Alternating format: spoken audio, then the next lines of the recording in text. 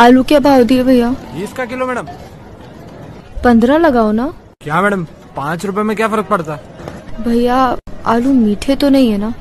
अरे नहीं नहीं मैडम। पक्का अरे इतना क्या सोच रहे हो मैडम? आलू ही तो है। कभी कभार मीठा आ जाता है। क्या फ़र्क पड़ता है?